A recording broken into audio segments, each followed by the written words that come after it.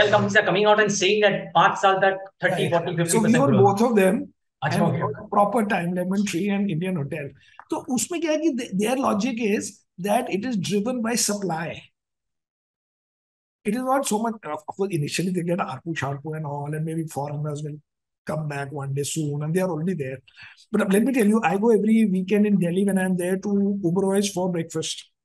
Okay, because it's a you can eat a lot and you can meet everybody. And now last two days I've had to show them how many followers I have because they say not available to outsider because it's available only for the guests. Because that means they're so full of guests. Otherwise, all my life I've gone. And I've not been a guest. I stay anywhere in Delhi, but I just go it's near my house. So uh, they would never say, now they say, Are you a guest?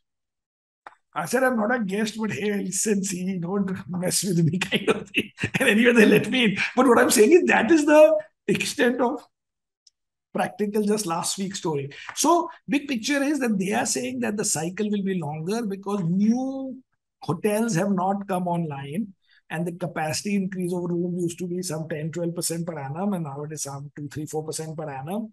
Therefore, this cycle can continue and for the moment, yes.